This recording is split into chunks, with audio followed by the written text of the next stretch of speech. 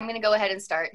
so, um, welcome. Thank you so much for coming to this event today. I hope you're in the right spot. So, this is Local Nature Backyard Photography, led by Rick Waller.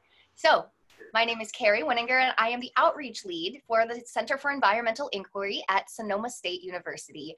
Usually, we do these kind of public events in person at one of our preserves. So, that would be either at our Osborn Preserve in Penngrove on Sonoma Mountain or at our Galbreath Preserve near Yorkville um, and Mendocino. So everything's different for us this spring too, but we are finding that it's such a powerful thing to be able to connect to people on this in this virtual space. Mm-hmm. And so thank you all for being our first semester of virtual events. And uh, please feel free and give us any feedback you have about that um, through my email, um, which you should have gotten when you registered. So before I let Rick and Jer- Jeree take it away, um, I just want to tell you a little bit about what the center does and is and how we can be a resource to you, no matter who you are, whether you're affiliated with Sonoma State or not, whether you're a student, a parent, uh, you work for the government or an organization in need of environmental solutions, or maybe you're an educator or just a member of the public who's interested. Because the center really envisions this North Bay working together to find sustainable solutions. And we're inviting everybody to get environmentally ready with us. That's what my shirt says. so, uh, how do we do that? The way we want to do that is we want to build this community of learners and problem solvers that are really across all sectors of society.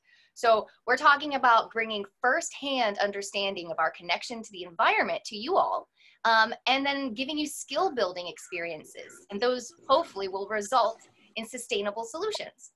So we want to make people aware and prepared with knowledge and then engaged. And that's the key is really getting engaged here with these challenges and how you can help. So there's lots of ways you can get involved. Um, coming to public events like this is one way. There's research that you can engage in. You can take one of our training programs. So we, we teach naturalist training for both students and for fact and for uh, community members. Uh, we teach land management. We also have things like internship, internships and student jobs if you are a student. Um, you can access data that our programs have created, or you can lead or contribute to events like this, um, or partner with us on projects. So there's lots of ways. Uh, just feel free and reach out if you ever want to get involved further. Just admitted somebody else. Great. Now, the key here is that you all are important in addressing the greatest environmental challenges that humans have ever faced. So one last time, thank you so much for coming to be a part of this. And I do want to talk a bit about how the day is going to go. So first, um, I would like to introduce Rick and Jeree Waller, and they're joining us from Grass Valley, where they work with people of all ages and abilities who want to get out into nature and enjoy wildlife photography. Uh, and this demonstrates how this medium is one way that we can connect to nature and, in fact, call attention to environmental challenges, even from home. Now, this type of event is called local nature. And what that means is there's a presentation, there's time for you to all go into your own local natural areas. That could be your backyard or around the corner where there's a lot, or even looking out your window, um, wherever you can get to safely and legally during the shelter place. And then we'll come back, we'll get some feedback, and then we'll learn a bit more. So we'd love to see your faces. I'm so glad that most people's videos are on and get you involved. It would help to have everyone's mics turned off during the presentation portion. So I am going to mute everybody. Um, but then once we have the group mm. experience, then everybody can have their mics back on again. So what that means is if there's anything you want to say or need to say, the chat box is a great way to do that. And so before we get started, I want to make sure everyone knows where that is and how to use it.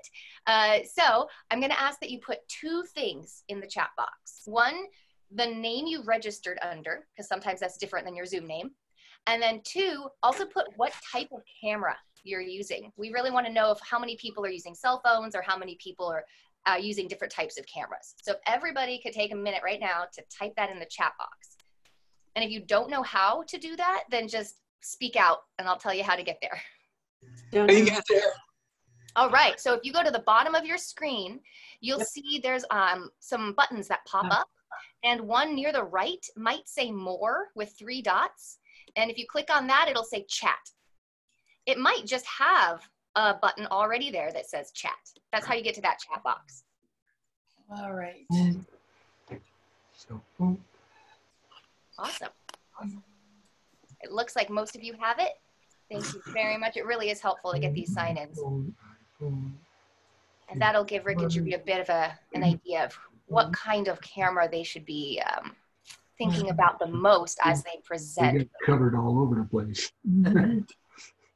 We are using just about every type of phone out there, phone and camera out there.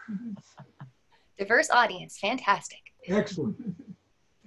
All right. Well, I think maybe just a few of you have still not written in there, but most of you have. So at this point, I am just going to say a big thank you to Rick and Jeree and let them take it from here.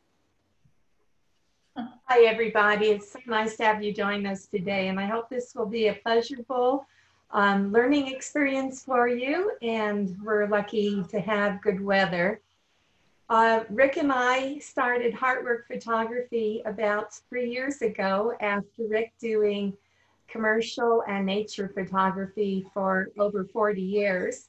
And I have been a social worker with adults and the elderly I'm a Girl Scout leader, and also helped to start Freed Center for Independent Living. And if you don't know about the Centers for Independent Living, they're in every state with federal and state funding, and they're primarily run by people with um, disabilities to help other people with disabilities stay independent.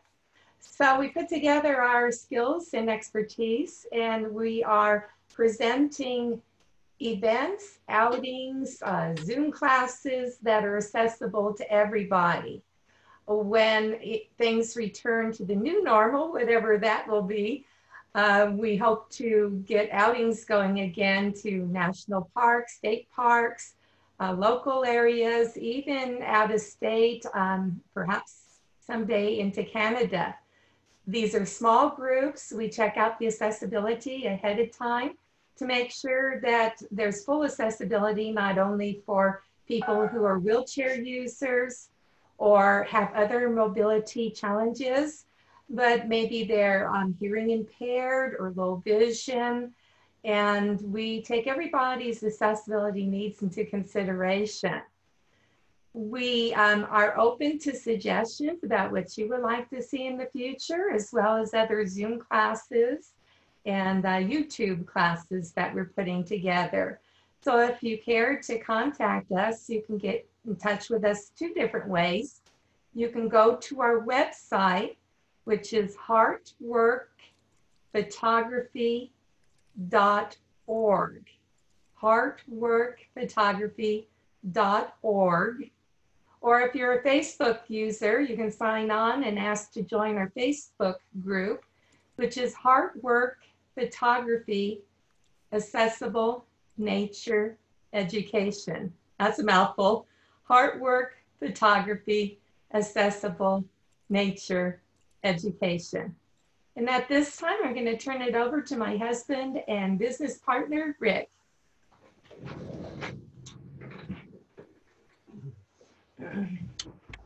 And I am going to turn off my cell phone. And, um, we got through that one. Okay, and remove some notes so I can see my screen. All right. Let me change a couple uh, slides here because I was too busy doing other things to get some of the stuff up about us. Okay. So first of all, I want it's an honor to be uh, collaborating with uh, SSU uh, due to our work for nature and wildlife conservation and climate change awareness. Uh, and, and, it's just a great partnership to be part of this. Um, we have very similar views and hopes. So um, it's just nice to be paired up with a group that has very similar thoughts. Today, we're going to start out. I'm going to show you some images that you're probably not going to be able to pull off of your backyard. But I seem to have a big backyard. We travel all over the place. Um, we're going to start building your skills to create images like these. And we're going to talk mainly about lighting and composition today. Uh, composition first, and we're going to send you out to take some photos and come back and share them with us if you'd like. And we'll do a critique, and then we'll talk about some lighting at the end, which will tell you the best times to be able to take these type of shots. This happens to be a shot of Yosemite Falls with a rainbow, and it's a naturally occurring event. And I like to say I sat there and waited forever to make this happen the way it did, but I didn't. We were driving down the road and it was perfect, so we jumped out of the car and photographed it. Excuse me. We're going to discuss composition, which is basically to make your your um, images more appealing and eye-catching. And then again, we'll talk about lighting conditions that make them better. As you can see in this image, the lighting actually makes the details show better because of the time of day we shot it. And this was almost sunset. And this is Bryce Canyon National Park. You can bring that chair in. Excuse me. Okay, um, patience and luck. Sometimes that's what you need when to capture some images, especially with wildlife. Um, and I was graced with the presence of this great blue heron in uh, Lake of the Ozarks in Missouri for about a half an hour. It just decided it liked me and started out about 50 yards away, ended up about 25 feet away from me for a half an hour, and then kind of gave me a look like I'm leaving now. Do you really want a nice photograph? And I uh, paid attention. Another thing we're going to talk about is how to enhance the colors by shooting at the right time of day to get the most out of the image. Uh, and this is Mesa Arch at Canyonlands National Park. And just at sunrise, this, this arch overhangs out over a wall, and that wall is lit by the sunrise, which reflects all that orangish color up into the arch. And it's the only time of day that happens. Unfortunately, it's a very popular place, so you have to get there like two hours before sunrise to get this shot and try to shoot around all the photographers. Um, we're going to talk about being prepared for action. So you can think about your camera settings. If you know something's going, you're trying to photograph wildlife, so you can stop that moment. We'll also talk about how many images you should probably take and how you should take a breath after the first one and why.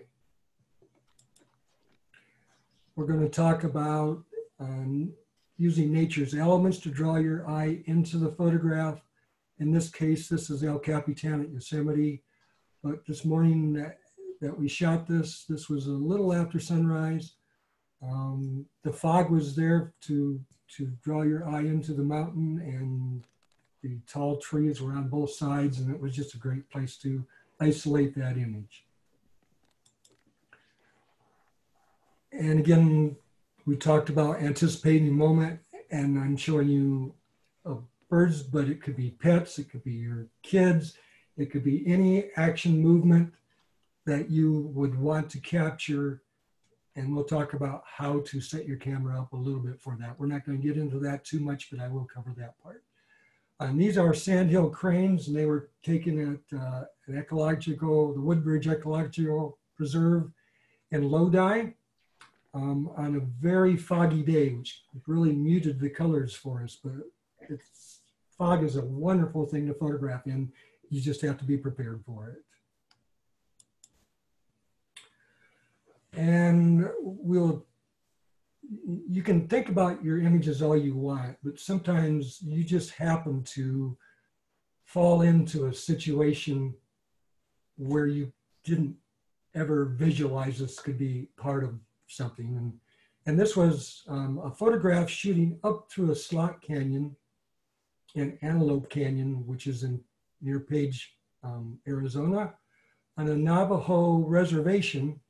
And it is the only tour you can take that starts at 10 o'clock at night. So you can actually shoot the stars up through the slots in the opening of the ceiling of the slot canyon. And we're going to talk about shooting, photographing. When I say shoot, I always mean camera. Um, wildlife and respecting their safe margin, your safe margin, and being prepared and uh, understanding their postures. Know as much about the animal you want to photograph so that you are safe and they are safe and they feel comfortable. Um, to let you know, we were way closer than 100 yards on this photograph, but it was because we were on the road in an RV and it was walking down the road next to us after coming out of hibernation and it was busy eating plants so it could uh, have uh, more meals afterwards. And it was about 20 feet away. We rolled down the, in, the, the window on the passenger side, hear it breathing, but it was way too interested in food and it felt very safe that we weren't approaching it. So it, it lingered around for a few minutes while we got a lot of photographs and it was an amazing experience, but you would never do that if you weren't that protected or using a long, long lens to get that photograph. Okay, so let's get started with backyard photography. And most important thing is to capture the moment. And sometimes it takes more than one, well, I should say, shouldn't say sometimes. It almost always takes more than one photograph to make that happen. So be prepared after you get your first shot to then take a slight break if you can. Look at your camera and say, do I have everything set up the way I think I should to capture this image? If you do, then go back to photographing. If you don't, make those adjustments like shutter speed. The higher the shutter speed, the more you're going to stop action. The slower the shutter speed, the more you're going to blur action.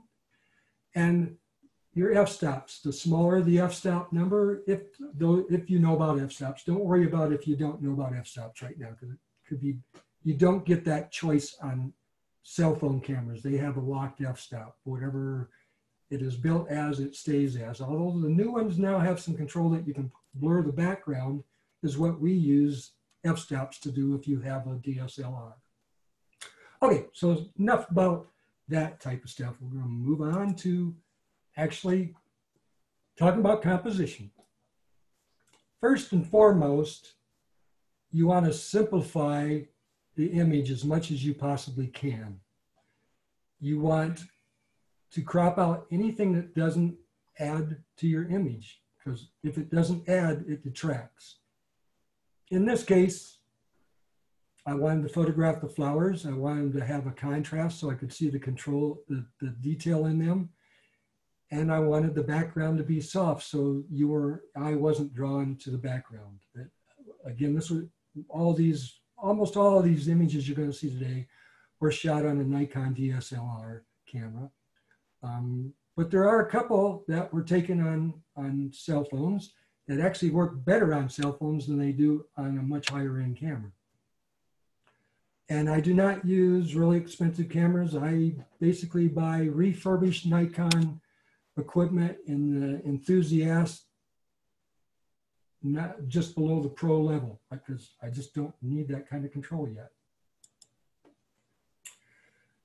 This image was actually shot at the uh, Center for um, Environmental Inquiry. And what I want to talk about is know about your surroundings before you go out to photograph. Carrie was giving us a tour of the preserve. She knew that they placed boards out along paths and animals congregate under them. So she was able to lift up a couple boards. We found this newt we got in really close because you want to fill your frame as much as possible if you can. Um, and we got this shot. Now, I know that we have both cell phone photographers and DSL photographers uh, attending today. And it's a lot easier with the DSL to zoom in and keep the quality high than it is with a cell phone. A, a smartphone, if you zoom in really tight, it's doing digital zooming all the time. And digital zooming, the more you zoom in, the more your image falls apart. So you're actually better, I've, I've tested many cell phones, you're actually better not to zoom in more than at the most 2x, you're actually better to not zoom in at all and then go in and crop the image later and get, just get as close as you can and then edit the image later. It'll be much sharper than zooming in. Video isn't as critical, but still images are because you get to sit there and look at them way too long to tear them apart.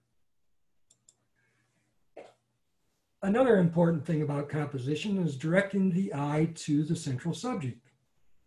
And one of the tools that we use is called leading lines.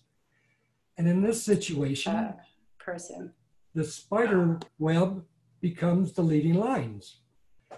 And you can use many things in nature for that to happen. So all these lines, I keep wanting to point to the monitor to show you things, and I can't do that. Your eye enters uh, in the Western Hemisphere, our, our uh, eye enters the image from the lower left corner. So you want to control from the lower left corner into wherever your main uh, subject is. And In this case, all those lines from the spider web draw you right into it. No matter where you look in the image, you get drawn into the spider. Leading lines, again, using just spokes of a wheel will draw you back into the center of the hub. And if you put what you want to photograph close to that, your eyes get pulled in along those lines. Even if you're, uh, you might bounce around it a little bit, the image, your eye might go around it a little bit, but it will always come back to where the central subject is.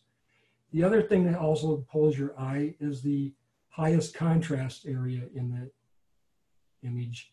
Your eye goes to that which is about where the pumpkin and the, and the hub come together.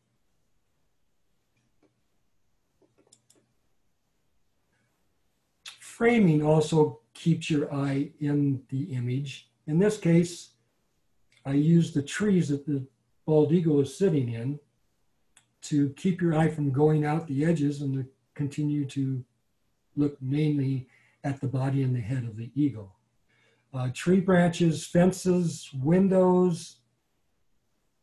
Um, all those things are something you can probably find in your backyard that will draw your image, your eye into the image and draw the viewer's eye in the image.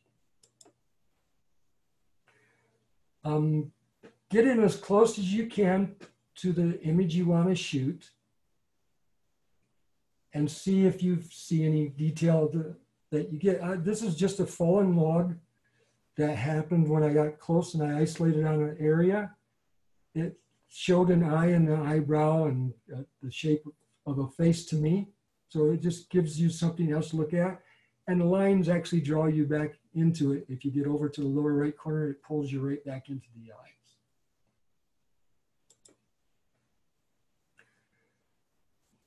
There are many rules in composition uh, we're going to use the rule of thirds just to give you a starting point. Um, this is one of the easiest ones to learn, so that we'll start with this is by nowhere the one that you may end up using, but it starts to make you think to put your subject in a different place than just in the circle that is the focus spot that most cameras have. They have a circle right in the middle of their viewfinder and that's where most people think they need to put their image. But it's more interesting if you don't put it there because the things that make your images stand out from other images is that you don't shoot it the same way other people do. And you will all develop your own style, and that's exactly what you should do. It'll take you a while to get there, but keep experimenting until you find what you really love to shoot and how you love to shoot. Rules of thirds basically consists of this grid which almost all cell phones and DSLRs have on them. You can go in under your settings and turn this on. So you can see this grid laid over your viewfinder. Um, what you want to do is put the subject like eyes or a flower or whatever your subject is at one of the intersection points of these lines. And these lines are laid out uh, at a third down and a third up vertically and a third over and, and two thirds over horizontally. So you got the four insecting points and this girl's eye, her right eye, is at the intersection of those points and it makes it more interesting. Okay, I'll give you some more examples of, of doing this. That was a vertical shot. This is a horizontal shot. Action, usually want more um, area in front of your action than behind your action. It's just a thing that the human eye likes to see where the action is moving to. Um, but once you've gotten used to doing this, uh, you may want to actually move the action almost out to the edge, which makes it really tense for the viewer, but it makes them, they don't know why, but they look at your image longer. Um, if you watch um, ads on TV, they pull that trick a lot of times to make it tense. You don't know why you still look at it. You don't necessarily like it, but you keep looking at the image, and that's what it's all about. Your pets. Rules of thirds, eyes somewhere along that line, close to where it intersects. Shoot down at their level. It's much more interesting have something in the foreground like the flowers, and which is also sitting on one of the, the um, intersecting lines. And you'll get a much more interesting shot.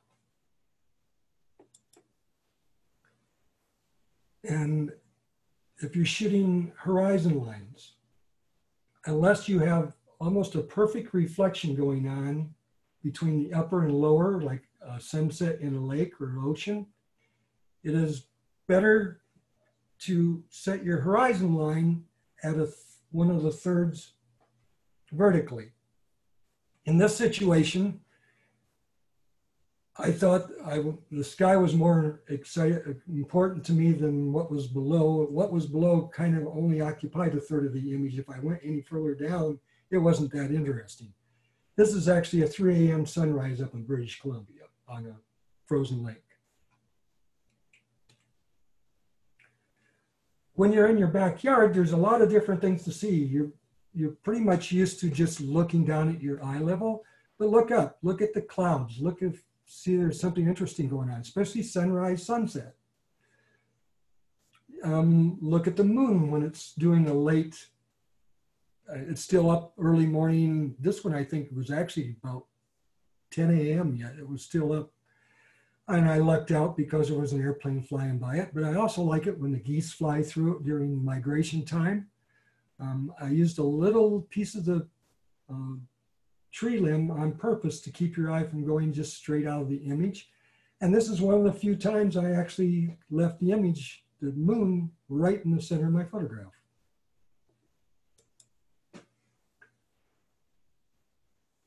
Make sure you get close, especially for flowers. Notice the leading line we have of the stem leading into the flower from the lower left on the left image. Um, try to be focused on the points of the flower that are closest to you. And try to um, take a couple shots. Take one of the overall flower, then move in closer and see if you like what you get from that shot. You usually find when you're beginning photography, you will take a shot, then you will get a little closer and take another shot, and then you get a little closer and take another shot. And after you take the third shot, you'll usually like the second one the best for a while. Then eventually you will grow to like the third one and you'll forget to take the first and second one. But the, the closer you get, the more interesting the photography gets.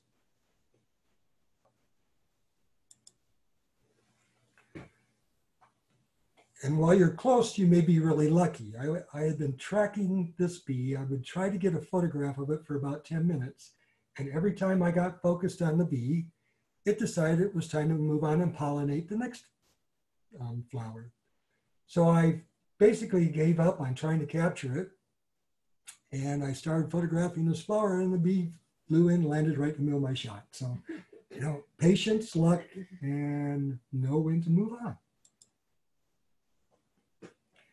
When you're photographing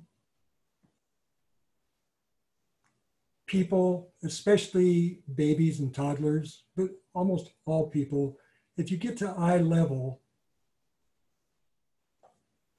it identifies best with that age range. toddlers, when you show them photos that you shoot from your, your eye level of them and you shoot at their eye level, they always will pick the one that is at their eye level because they identify to it. It's the air, the level that they see at. And if you want to shoot a picture of you for them, shoot it low for you because they look at you from low. Pets the same way. Get down to their eye level. And the more interest is if you do that. Be aware of the animals that are in your yard or around you. Um, this owl was actually flew into our addition one day. And I went out, got my first shot, walked away, thought, so I didn't scare it away, and then came back because the first shot I didn't have anything set up, set up for it. Set my camera up, and it never moved for the next 20 shots, so I didn't have to worry about it. But you never know. Give them their space, gently walk into their space, and they will stick around a lot longer. The squirrel was taken by my granddaughter uh, out at MacKerricher Beach uh, by Fort Bragg. Uh, and she just captured the moment of it sitting there eating uh, out through the, the brush. And when you shoot like on that, just try to make sure you're actually focusing on the animal and not the brush in front, because that sometimes will drive your camera nuts out, all the grasses that grow up in front of them. Um, if you want to do an image that's more soothing, more romantic, take close-ups of things with water droplets on them. These are natural water droplets. It was right after a, an evening rain. This was just taken out my front yard. But if it's the time of year that you don't have that, you can always get a little mister and put some glycerin water in it and spray it and have water droplets that bead up just like this.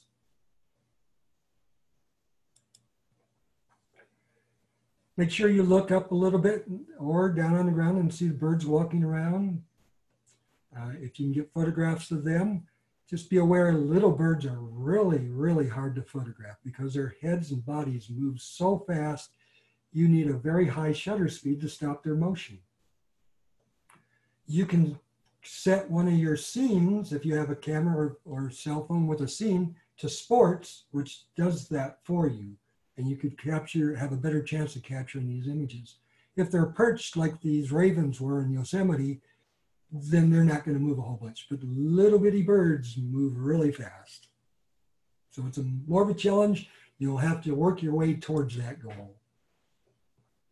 This is another shot from the preserve by at Sonoma State. Um,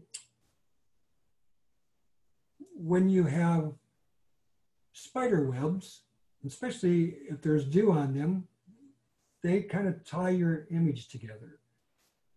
And this was an overcast day, so you get to see the detail a little better. It doesn't make the white so white that they, you lose detail, or the dark so dark that you can't see into them.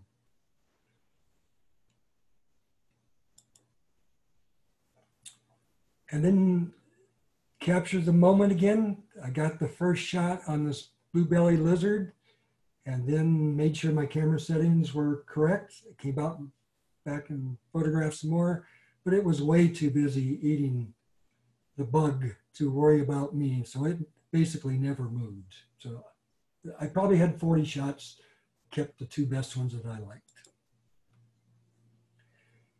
And always capture as much detail in flowers as you can. And one of the best ways to do it, and we'll reinforce this when we get into lighting, is to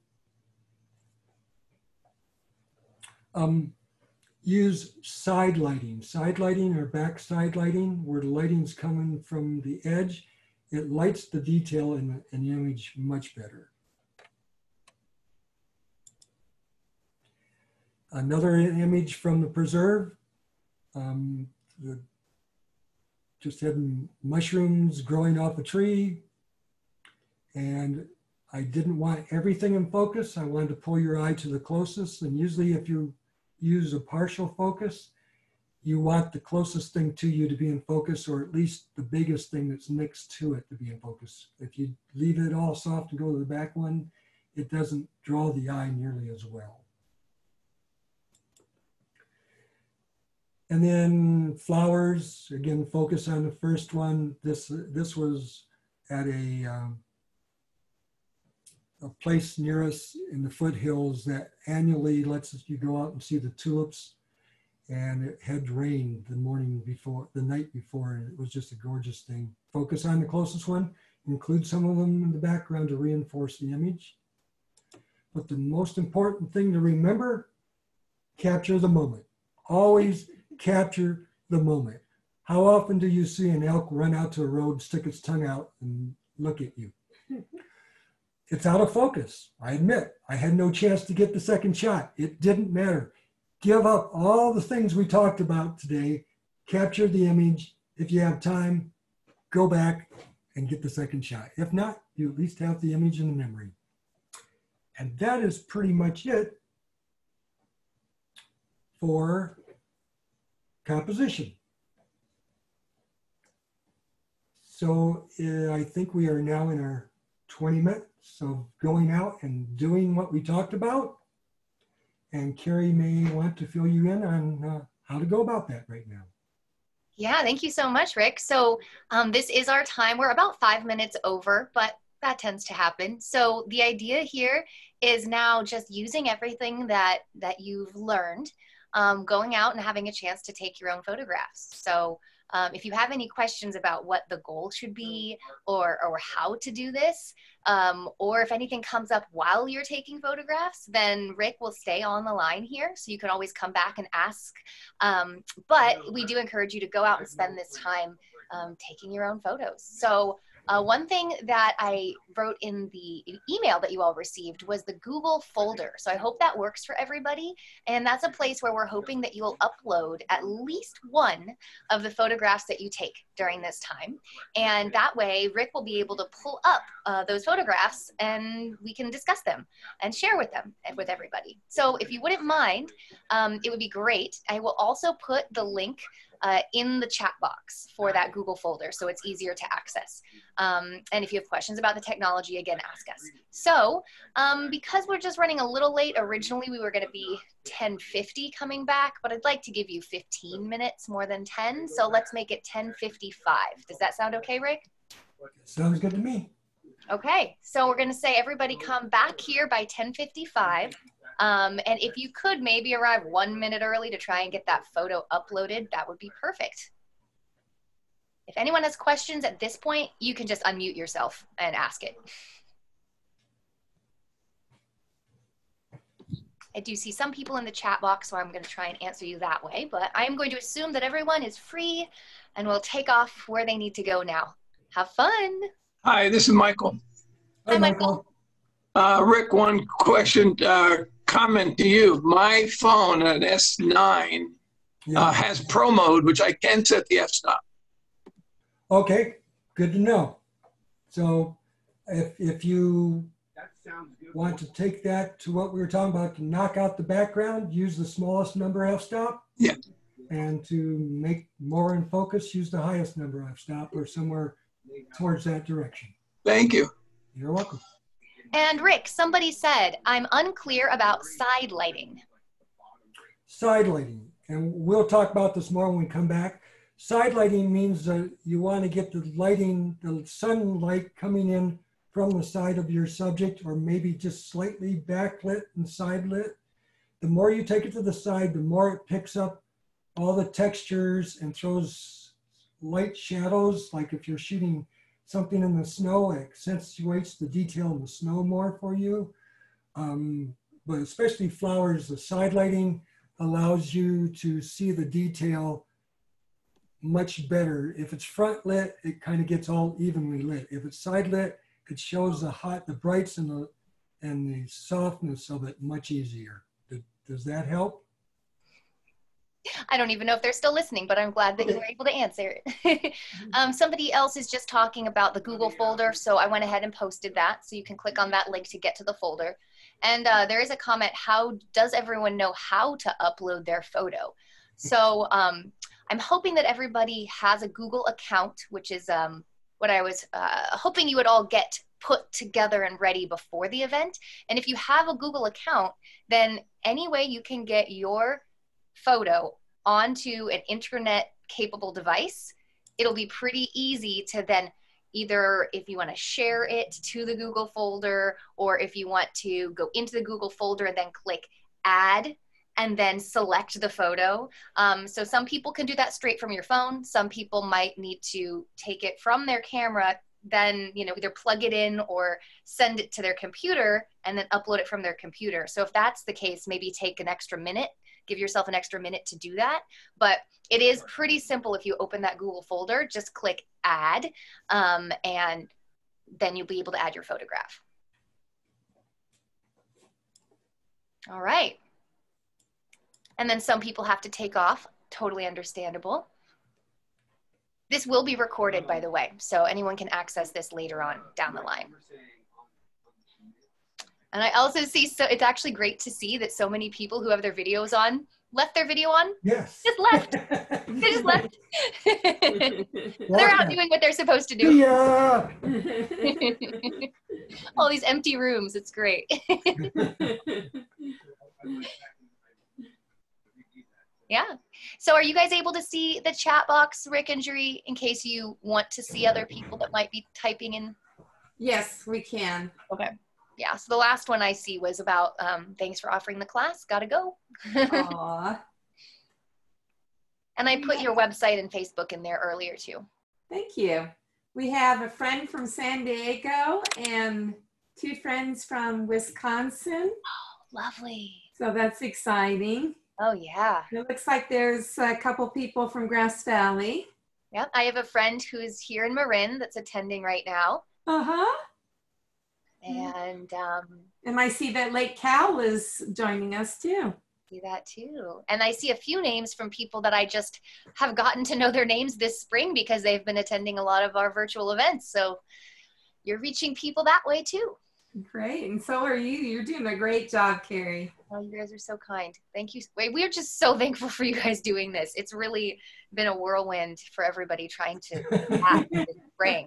You Yeah. jump right in there. So you look at you just look at how you can keep doing this one way or another and i'm just so glad that you're doing this this is the first presentation we have done on zoom so it's uh it's it's helping me a lot to understand what we need to do in this situation right now and so we're we're looking at getting a lot more stuff up on our website and probably on our, our youtube channel to to augment this type of stuff so I can imagine that specifically with the work you do, this could give, this could increase accessibility, right? Not having to go to a physical location.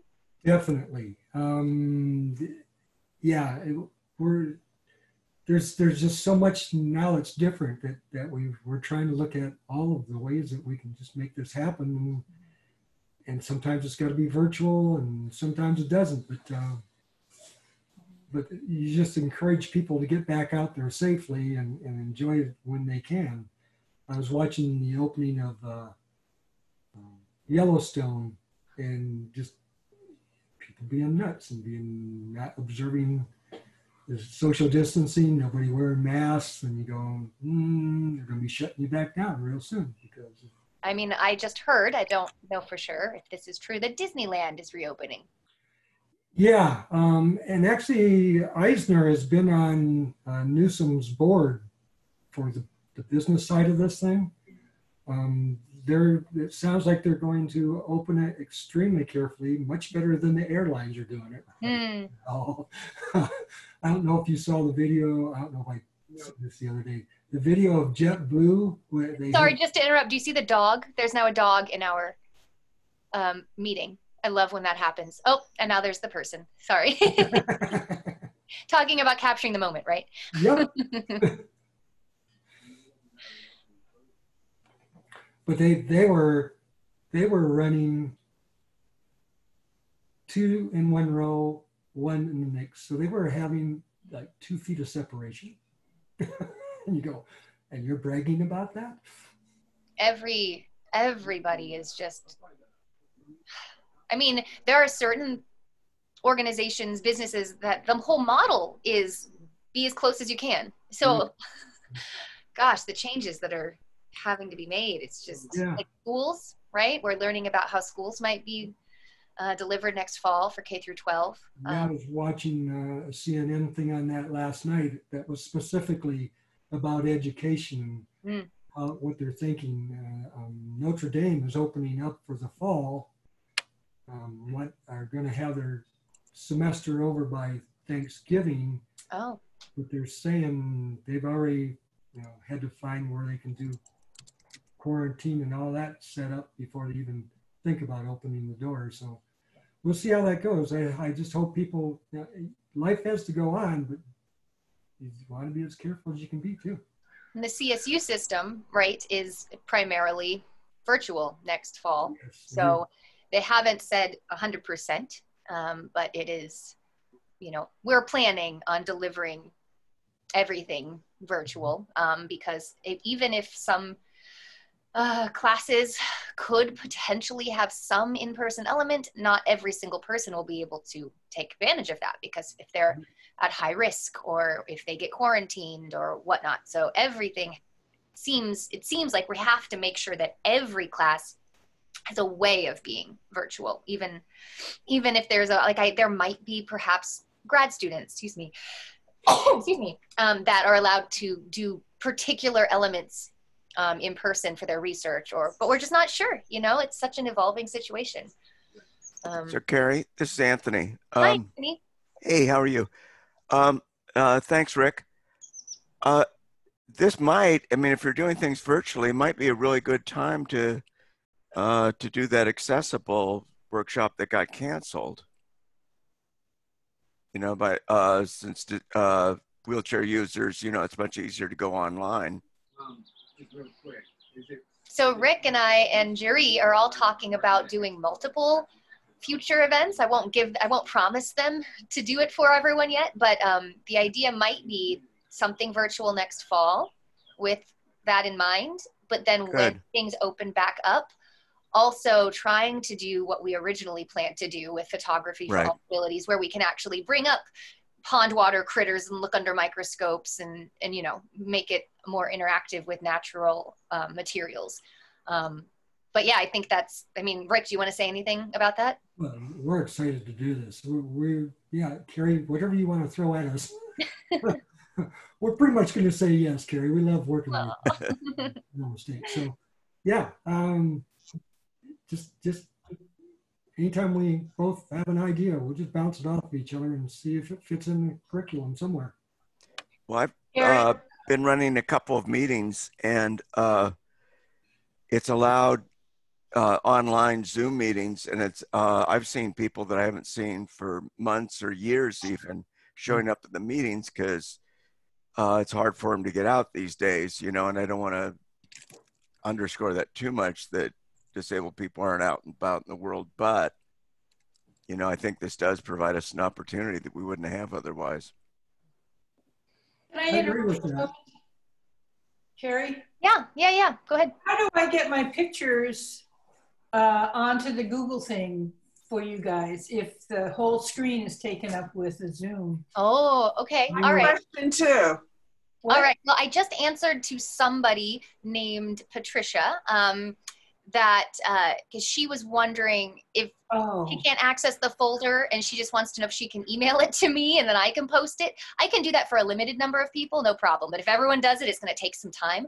So the thing with the Zoom is you can actually make the box smaller on your computer so that you can also be do using a different program. So if you have a Mac or a PC, you know, it's going to be a different button on the top corner, but it'll be a um, like maximize button. So like on a on a Mac, it's um, green uh, to enter full screen or to get out of full screen. And if once you're out of full screen, you can actually just drag the corner of the box and make the zoom window really small, and then you can see everything else on your monitor and still operate the controls. My screen, um, I have a Mac and the whole screen is taken up with Zoom. There's no, none of those red or blue things in the corner I know about. Upper left, upper left it. corner in a Mac, isn't it? If you hover over the top, sometimes they will appear. Uh, hovering, that did it. Thank you. You're welcome.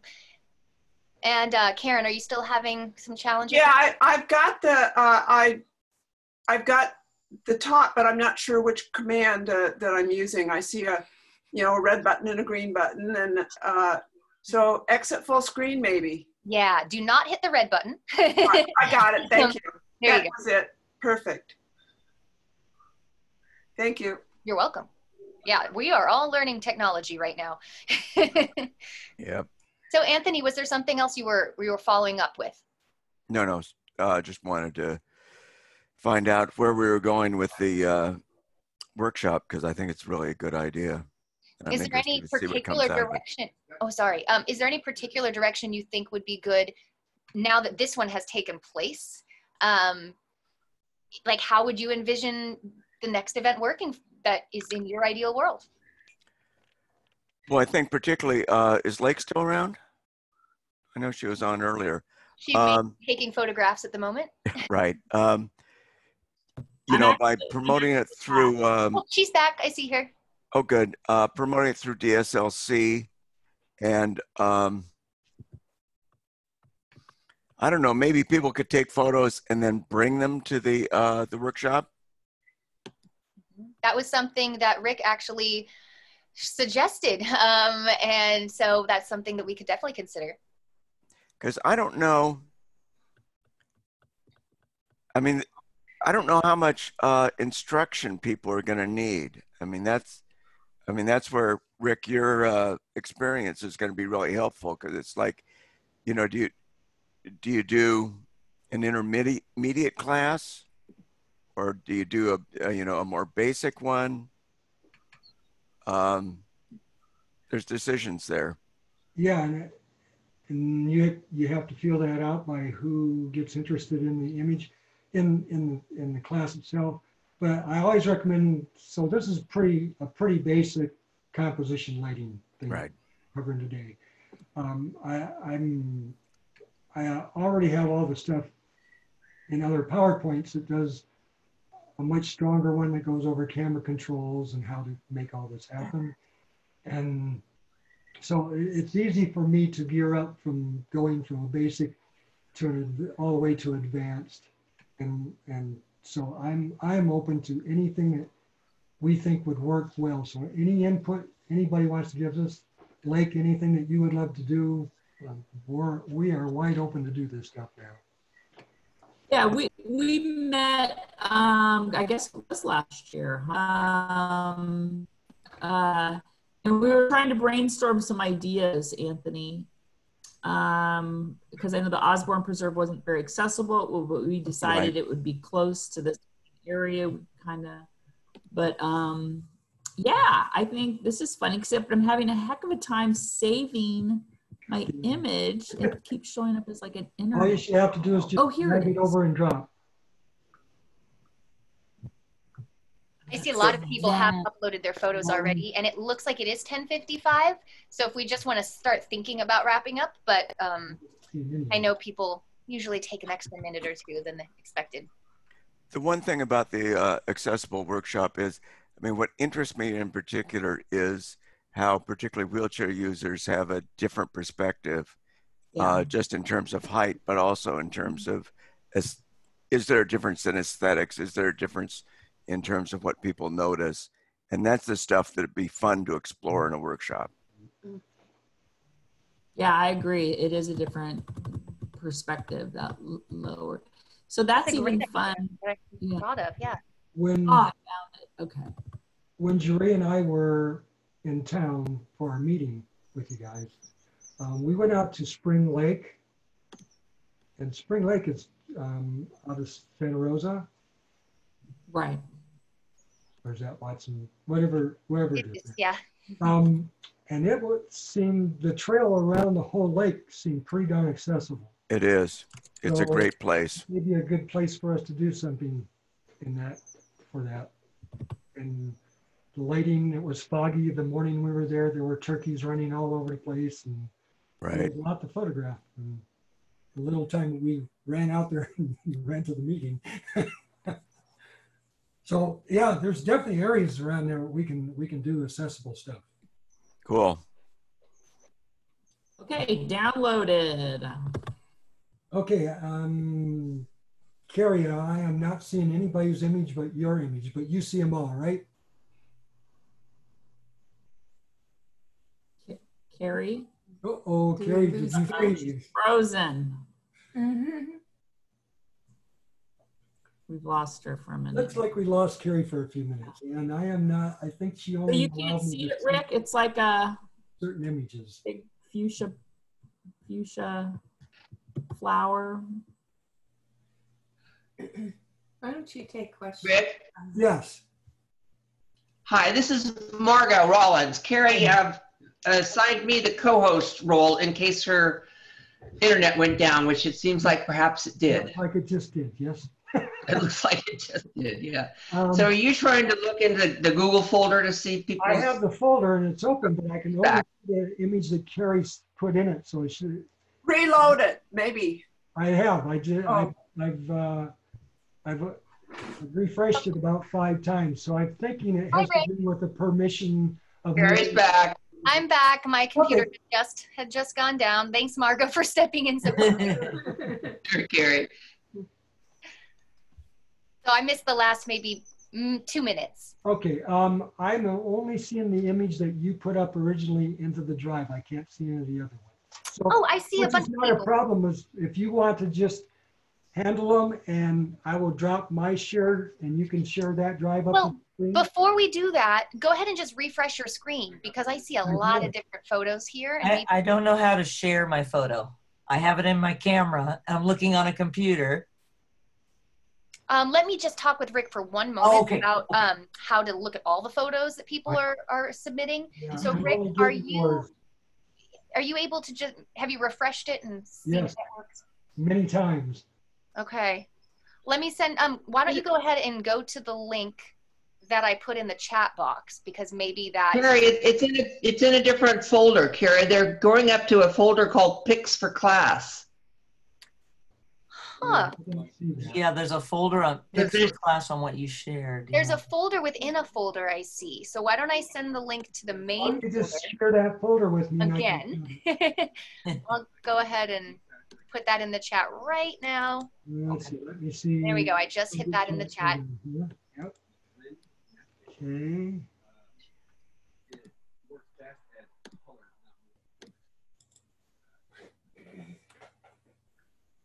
Okay, now the person who was um, trying to get their photo up, if you're in the Google Drive, click the button on the top left that says new and then file Go to the Google Drive on the phone, Huh? and then because I've got it on the screen on the computer, but I've got to get it on the phone, right?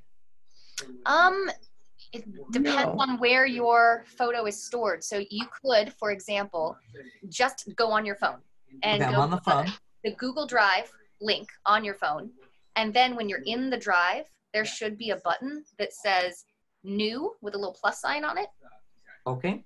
And if you click on new, it should say uh, there's options. One of them is file upload. And that's what you want to click. Okay, I'm gonna try that. Okay, I now see everything. I'm going to uh, stop the share on the PowerPoint. Wonderful, Rick. I'm glad. okay, I'll just I'll just watch others. I'm fine. No, I'm sorry to hear that. Well, if you also wanted to email yourself the photo and then open it on the computer, you could open Google Drive on the computer because sometimes the interface looks different on a phone or a computer. okay. All right, looks Oh. great. Do do you want us to mute ourselves? Um, no, I think it's okay as long as there's no background noise at this point. Okay. So are, is everybody seeing the shared screen with the bee on the flower? Yes. And I see everybody seems to be back. Okay. Oh, Great. So You're not going to see my face looking at you now because I got to look at the photos. mhm. Let me see if I can drag this over a little bit. Oh, it's it's taking up a, a good amount of the screen. We can see it. And I can open that up more. Okay. Great shot. Well, now we can't see the picture. We see your, And this is lakes, right? yeah. Oh, right, right now, we do not see the photograph. We see the list on the Google Drive. You see the list. Okay, I shared the wrong screen. Put it back where. Let stop that share. Let's do a different share and see if I can find the screen. That should be it. Now we see everybody. This is wonderful. Yeah, I gotta get rid of that though, sorry. Screen two, let's try this. Now do you see it? yes. Yay. Excellent. Okay, great capture. You're in nice and close. You I wanna see if stopped, I can see you the stopped the bee in the middle of flight. I am impressed. Wow. Great job. Um, yeah, I, you want to teach me? It's funny, that was the first photograph I took too. I was like, you know, Yeah, and you and I were couldn't get it afterwards. I kept following him because I Yep. can't see good, and especially with the cell phone, I thought, oh, it's probably blurry, and I kept trying to take it. But I was trying to get the um the stems of the flower to create that those Yep. lines you were talking about, but I Absolutely. that. But And, and it's just amazing when things happen when you're I photographing. know. Good So- job, Lake. Thanks. Yes. So, uh, the only thing I would do with this image after the shot, crop in tighter afterwards, or crop it on your phone, make it just be that. I don't, don't care if I see anything behind it because that is the shot. Right. Right. Great job. Okay, moving on. Wait a minute. Do you want me to leave? I'll go in there. Great No, shot. it's okay, Sam. I can't keep hearing the backdrop, but I don't need, you don't need to hear that. Whoa, yes. Another big fight. This is cheers. Somebody has some background noise. If there's any background noise, it would be great to mute yourself if possible. So this is another great shot. Um, soft background, so you're focused on the subject. The flower, the bee coming. Must be a lot of bees in your area right now. This is wonderful. It's a great shot. Again, the only thing I would do with this image is uh, I'd probably darken it just slightly after after the shot and crop in to, to mostly the bee and the flower. Good job. Nice.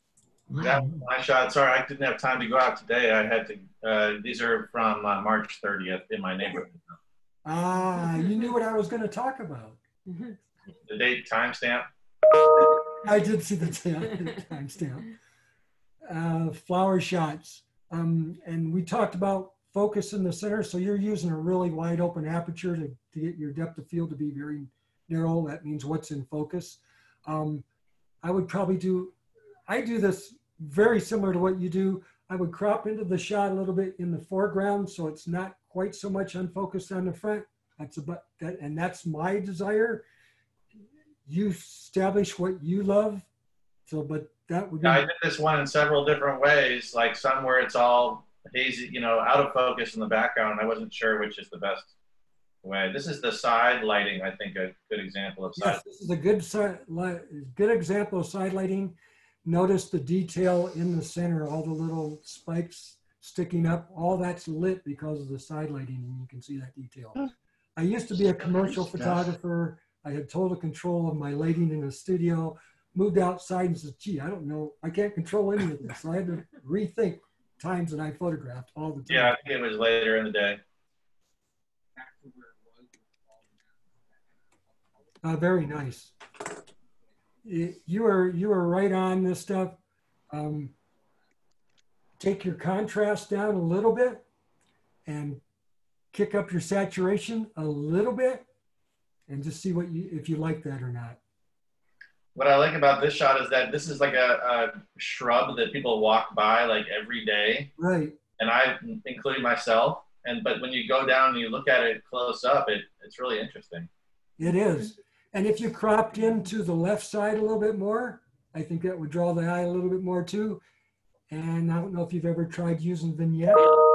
If you put a real light one over this, it'd really draw the eye to the center one without taking the rest of it away. Say that again. Using what?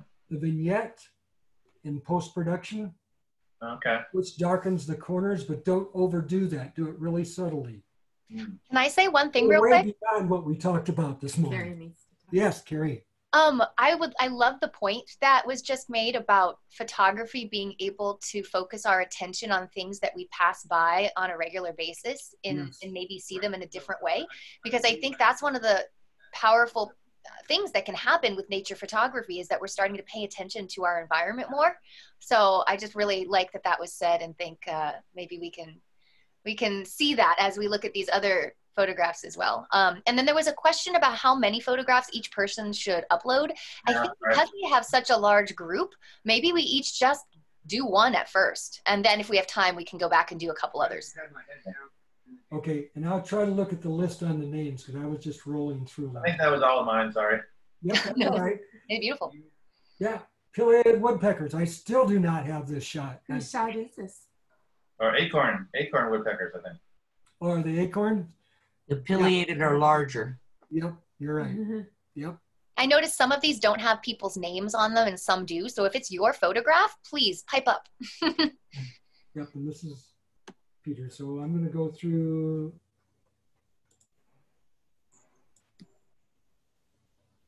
I love that. Wow. Mm.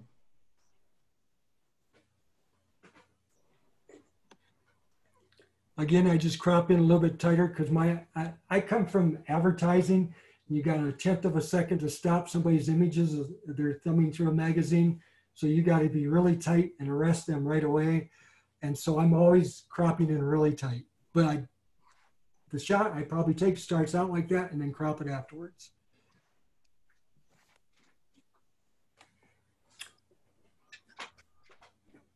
And have I got beyond Peter yet? Yes. That's me, Cynthia. Cynthia. Yep. Nice. I like this a lot. I really do. It's really soothing, really nice lighting, and picks up the detail and everything really well. Um, and it, being shot today, we are shooting at some of the worst times that you can photograph right now. After about 10:30 to just about right now, maybe six. Not good lighting. But under the tree, it created shade, so um, the contrast between the bark and the, Yes. the, whatever those things are, I And, thought. and the detail is really nice. Is it a little bit overcast by you right now? It is, Yep, perfect. yeah, and that's my, lighting. my cell phone. Very nice. I really like that. Nice composition, nice leading me into the flowers and all the texture. It's just a really nice photograph. Thank you. Thank you. And Rick, someone actually just mentioned um, it might be nice for people to share whether they did use a camera or cell phone. Oh, So that'd that we know. Yeah, Yes. like. Um, and then also, it looks like some people's photos floated to the top, um, so they might be skipped otherwise. Um, if at some point you could go back to the top and see. Yeah, I haven't refreshed, so right now I'm in order. Okay, great. I'll go through this and we'll see what happens. All right.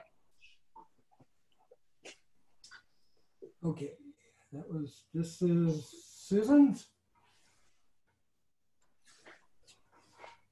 Susan, in, now you're not in state, you're a long ways away. You may be our Hello. first. Hi, Sue. Hi. I love that you went in after the detail on the, on the, the leaves and the, the flowers and the leaves. And this was on a cell phone? Or is this Uh, this is on a real small little camera. sheet, okay. Um, and there's just, I think, I can't tell. It's just, it's hard to focus with those things. So that's the only Yeah. thing. See if you can get in a little bit tighter and get it to focus. But other than that, that's that's that's the stuff. The the leaves lead you into the image and and make it nice, tight, and focused, and that would be a great way to do it.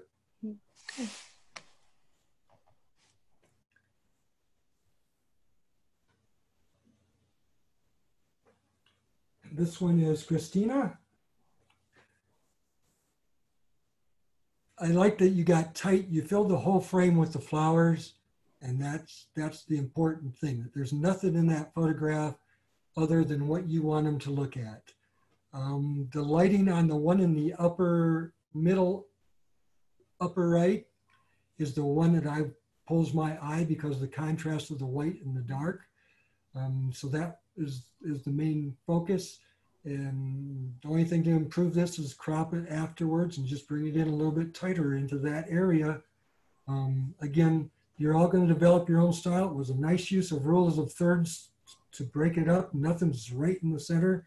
Nice shot. Thank you. Let me scroll up my list here. Wow. This is Karen, correct? Yes.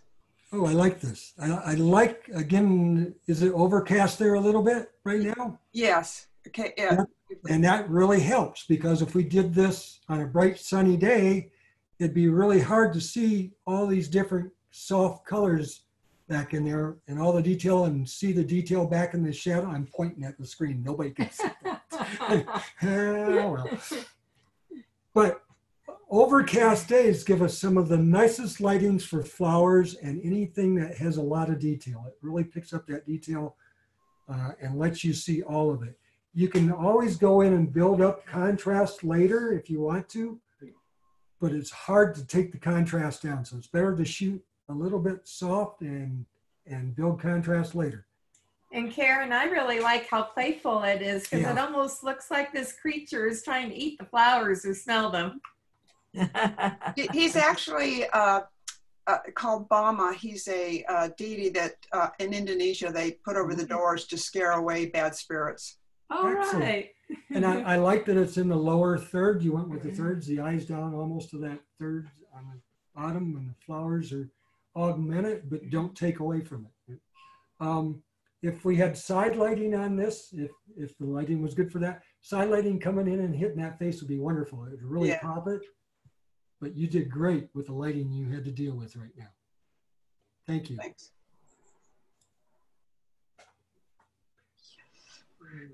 Marlena, nice shot. Thank you. you used the rule of thirds, you used the hardest point in rule of thirds to pull this off. The, the upper left corner is a hard place to control to get your people not to wander around in the whole photograph.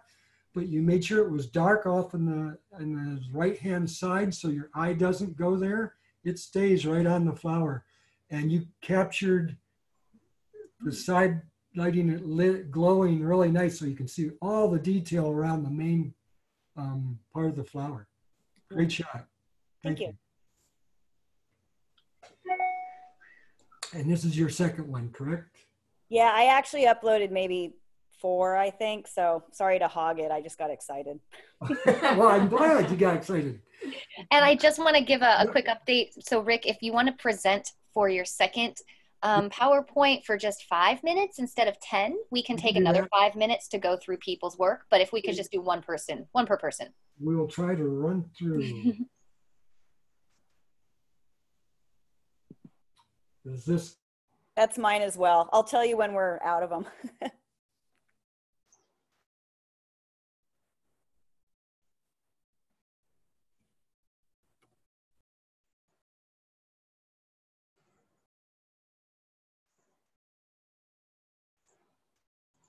It's like Rick is frozen. Oh, I thought it might be me. Okay. Did he shoot? Did he? Did he shoot that with a cell phone or? No, I'm kidding. Marlene, yeah, you might as well tell us about this while he's frozen. yeah, okay. I thought it was me too that was frozen. Well, this is just flowers in my yard. Um, and that's what I am currently so excited about um, photographing. And so, yeah. Was it on a uh, phone or a uh, camera? It's an iPhone E. SE. So I would crop out the top, uh, where there's looks like a banana or something in the background. Um, let me get back to it. Now I can't see it anymore. I lost the view because you know what? I think our presenter fell off, and I left myself um, without video just because my computer um, connection is unstable. But we lost him as speaker view. Well, I'm able to I'm able to get the screen share back up so that we can at least look at the photographs. Not that I have anything intelligent to say about them, but um, why don't I go We ahead? can all do that? enjoy them. Yeah, we can until he gets back. Hopefully, he will. It's so fun seeing everybody's um, gardens and spaces around them. Yes. So I'm a longtime photographer, and if anybody else here doesn't mind, I'll, I can comment on some pictures. Thank you, Again, Michael. these are these are very personal opinions. Uh, as was stated earlier, everybody has their own taste. And can you see that right there? Yes. The horse. gonna- Rick's actually calling me, so if you want to comment on that, I'm going to talk to him. So again, whether you can do it on your computer or on your phone, um, if you look at the background, if you're trying to get the horse, the tree is very distracting. So if you crop in closer and, and isolate the, the horse, um, as, as Rick had pointed out several times, cropping really to, to remove distracting elements is an important feature of uh, photography. Well, why don't you keep trying to connect by internet? Um, hold on real quick. All right, guys, let me go to the next photograph. Oh, we did that one already. I'm not quite sure. Hey, go back oh, up, go to the next one. There's one. So why don't you guys call um, the number just so you can at least have the audio on, and then keep trying to connect via video as well. Is that okay? Can you do that? So picture is this? I, yes, I will. I will send it to you. It's mine. I will. I Who's will- mine? Michelle. Yeah. So, so here's a, here's a very simple thing. On the very right of the picture, you see that blue at the, uh, the top third, there's a little blue at the right side of the edge of the frame. Yep. If you just crop that out, Right. because that takes the eye just a little bit Yeah. away from This the is image. uh, this is straight out of the camera. Usually, I have a whole workflow process that I go Yeah. through. Right, so we're not talking about you personally, but I'm just saying for Yeah. people who are looking at this picture, Right. you got to be able to see distracting elements in the photo and take them out if you can. Um, I, I worked with a woman at work once. She had these pictures she thought were horrible. And all I did was crop and crop and crop. And she said, Oh my God, my pictures are wonderful. I love That's that. a beautiful shot. I love the black and white. Mhm, Yeah, the dark. that is gorgeous. All right, I'm gonna move on to the whatever's next. Ooh. Ooh, where'd you bury this person? That's just pretty. It's just out there in the in the garden. I got nothing to say about that. That's just gorgeous. This is uh, uh, Rick was talking about vignetting, and I used I vignetted this a bit more than I usually would, just because it has kind of a a, a slightly older look to it. So I thought I could get away with it. Also, there's a, a hose running in the lower right, and so I used the uh, uh, I darkened that a great deal, figuring that it would highlight the statue and take away the distraction of the hose, which led your eye just right off the frame on both the bottom You and did all that in 10 minutes? yeah. I'm I'm I'm fast with Lightroom. You know, it just That's good. So Yeah. explain what vignetting is to the rest of the group. Okay, vignetting. I don't know how many of you. I use Lightroom, which is a uh, is a great way to catalog photos. I mean, I at this point I've got about twelve thousand photos, and I've got to have some way of cataloging them all. But it's also a good way of manipulating photos, and it's much easier to use than Photoshop. And in Lightroom, you can use vignetting. It's called so where you can darken or lighten the edges of the photo. And it's a trick that um, they use a lot in portraiture. And if you overdo it, it looks like crap. So you have to be anything else really you overdo. careful. Yeah. All right, but Carrie, at next. times, it, it really does the trick. I think it's kind of cheesy, but it works. Well, that's fascinating. I love that. All right. Sneakers. Yeah, it was my wife's. Never mind. You, you already had one. Right. I love color, so it, We did this one already, Gary. Oh, close up. Wow. Who's it that? That's my second one, so you might want to just go on. All right, so I have two, uh, but I, but I, for, for a reason. If you can go to my second one, this is, this is, it, it came out in a different order, they're not there. Okay, go back to the other one, sorry, that wasn't it. So I shot this with a cell phone. I put two pictures up. One was the original, which that spider is about the size of one hundredth of the picture. So I cropped it in the camera and I, I did a little bit of uh, lighting changes and, and exposure to, to bring out some detail. He is the tiniest spider I had ever seen. And I, and I tried to use my magnifier to shoot it with zoom and it came out like crap. So I shot it at regular distance and then, and then cropped it in. Which what, which is something that Rick said earlier. Sometimes when you zoom with your cell phone, you're only using optical zoom and, and the pictures look like crap, and he's right most of the time. Yeah. Oh, uh-oh. now I don't know where I was. It was probably spider. Can you go to spider two? Let's do that one now. You've done me already. Yeah, okay. Okay. Yeah. So there's Oh, there spider one. So that was the original, that was the original spider picture. Yes, Margot? Oh, there's a, there's a whole folder up above. The very top one that says pics for class that has a few things in it. Gotcha. Okay, Like so did we do any of the person's piece uh, photography before? Any of the, Yes, that's mine, Marlena. That's All right. mine. And we got And mine. And mine. Not mine. okay. You, Joanna, That it was looks like mine. Yeah. beautiful. Orange is my favorite color. So, so since you shot this in the middle, and, and Rick was talking about the rule of thirds, if you Right. crop out the right side, you'll actually move the picture over, yeah. and that, and that, that will give you the rule of thirds. Mhm. Even if you can't shoot the rule of thirds, you can crop the rule of thirds. Oh. Right. And we did that one. We did that That one. one. So there's another folder, somebody said. Yeah, I'm just making sure, and that was mine from a while back. So now I think we've gotten through everything there.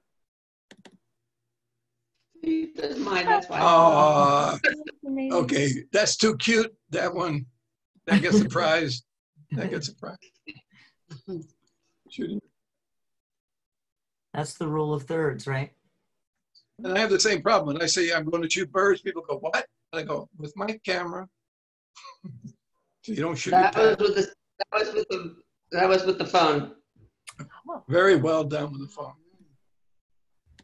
Are you expecting Aubrey? You have to capture the moment with any animal too.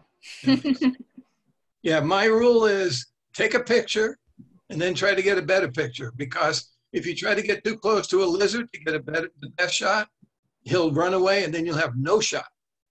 So shoot something and then try to get closer to a bird or especially anything that's likely to move and then try to get a better shot. All right, I'm moving on to the next one. Just navigating a lot of stuff right now, so thanks for your patience. All right. Oh. Interesting. Uh, that's mine, and I've already had the, Okay, I've already had it. some oak galls. What are they called? They are galls, G A L L, and they're formed by parasitic wasps or flies, and that's where they lay their eggs and their larvae grow up and they're safe. Oh my goodness. Thank you for that lesson. Mhm. Jeff? Yes. Um, the only thing I would add to this one is the brown at the right bottom. I would crop that out if, if I could. Okay. I'm looking at that and going, you know, I want to see these two galls in the, in the, in the frame and not that one. And you know what's interesting is it looks like those are actually uh, the one in the bottom right is an old gall that is uh, that has an exit hole. So the the wasp or flies have become adults and flown out. So either yeah maybe remove it, but also maybe just move it over and include it, and that way we're seeing different stages of Yeah, galls. yeah. Did you know that that's what that was, Jeff? Yes. Okay. Different ages, and I did get, I did get one with all three ages. Yeah, I thought it was fruit. So good thing I didn't oak try to, good thing I didn't try to eat it. And that's another one of Jeff's. So I'm going to keep going. Um, can I get back there? It looks like that's it. Is there anybody whose pictures we did not see? I don't think I was able to successfully upload a picture, although I tried. This And is it looks like these are what we started with. All right. Well, I think that we got through everybody. I know that Rick and Jerry are trying to call in, and they're oh, oh my, I, they just appeared. Oh my gosh, what timing? Okay. so they're coming into the room right now. But as they're doing that, I'm going to go ahead and just tell you a little bit about what I was going to do for the end of the event, um, which is just tell you about um, what's coming up because this is just one in a series of m- over two dozen events that we've been holding this spring, and we still do have at least three more coming up. Um, one of those is not even published yet, but two of them are. So next Friday, I want to tell you about one called Learn from a Naturalist Storytelling in Nature. So this one's going to be by one of our long-term dedicated naturalists, uh, John Lynch, and he's going to share some stories based on nature, explore how to be a more effective storyteller, and then possibly guide all of us into jointly making a new story, uh, which is a really powerful way to communicate and connect with nature. Um, and then the Thursday after that, June 4th, is called Deep Dive Sonoma Mountain Geologic and Climactic Evolution.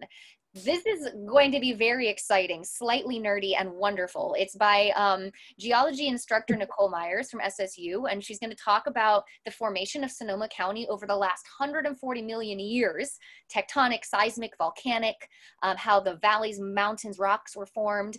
Um, and it's really going to focus in on how these formations and this climate affects things like wildfire, floods, and earthquakes in this region. So that one's going to be pretty fun. And then after that, we don't have a date set, but we're going to do something on nature sketching. And this is somebody who does this professionally, um, virtually. So this is really going to be a special event um, teaching us how to all actually sketch certain natural objects. Um, and then we also will have a video showcase of naturalist videos that were created, maybe little preserve tours or them talking about why they like to be a naturalist or even teaching us a game that they play with the third to fifth graders that come up to the preserve. Um, and again, that doesn't have a date set, but please go to our website to see these events and more and to register at cei.sonoma.edu slash calendar. Um, so I just want to say thank you all for really stepping up and coming to our longest event, an hour and a half, and then stepping up to talk about photos, even when Rick wasn't able to join us at the end. So we're just really a great group of people, and I'm so happy to have you all part of our community. I'm gonna Will you put the email in the chat, please? I sure can. Yes, the the website, and I'll also put website. my email if you want to contact me. Oh, so I'm going to stop screen sharing, and that way, if Rick is here, he can step up. Um, I'm going to make sure that he is a host. Um, uh, his audio is not here, but his video is. So I'm going to ask to start his video in case he can wave at us at least. All right, we'll see if he does. Oh, I think I just saw his microphone turn on. Apparently, they were telling me that lightning struck their house between Oh. now, just Oh. now and like a few days ago when we did our test run. And so it took out some of the, or maybe not struck their house, but s- like right where their equipment for internet is. Um, so we had a lot of lightning in Grass Valley recently. Ask him if he got a picture of the lightning. Right? Hey, you got to take advantage of the moment. Carrie? oh, do I hear you, Rick?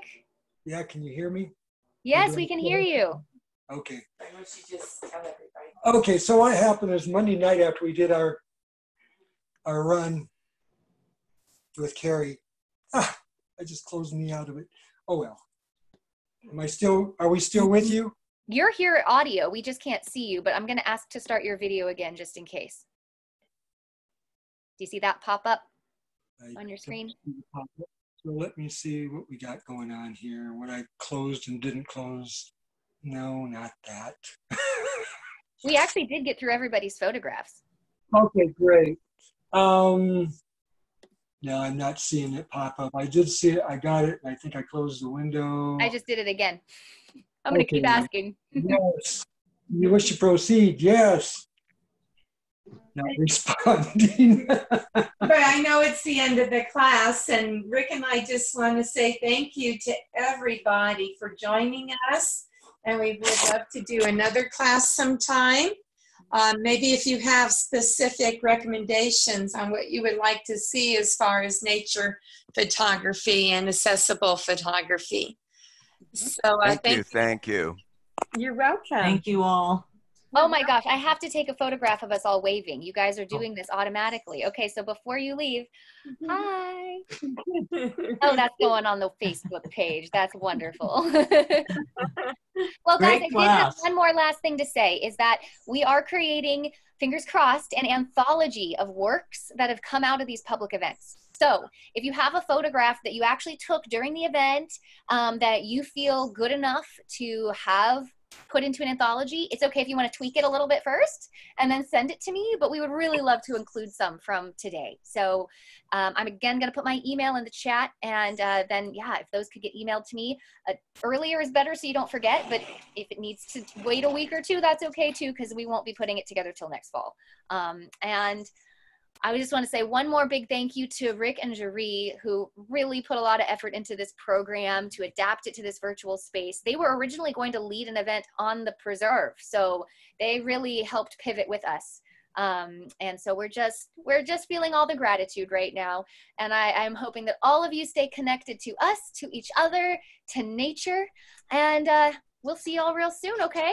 Thanks. Thank you. Thanks, you. Gary. Thank you so much. Bye, everyone. Thanks, you. Jerry and Rick. Uh, thank you. you. Glad Thank you you, come. Michael.